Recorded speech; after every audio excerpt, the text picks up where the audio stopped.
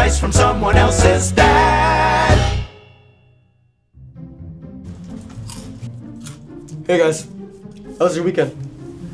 Seriously, I mean, dude, take a shower.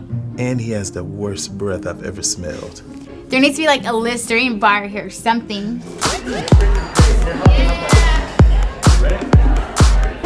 This guy might not have any idea that he stinks.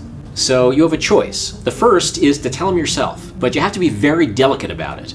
So you might want to say to him, hey Brad, this is a very difficult thing I want to tell you, and then just give him some practical advice. Listen, I got a real difficult topic that I wanted to discuss with you. What's the second option? You go to his manager and you ask her to deal with it. Alice, I know you're busy, but I got a real important issue I need to address with you. It's about Brad. Because He's he. moving into the desk next to yours. What?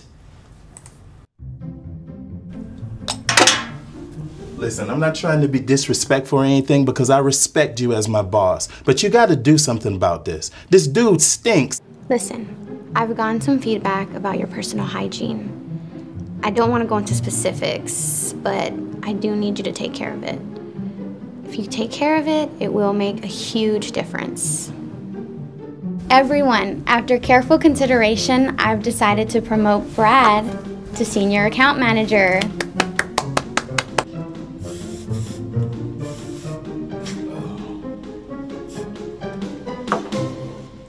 Advice from someone else's dad.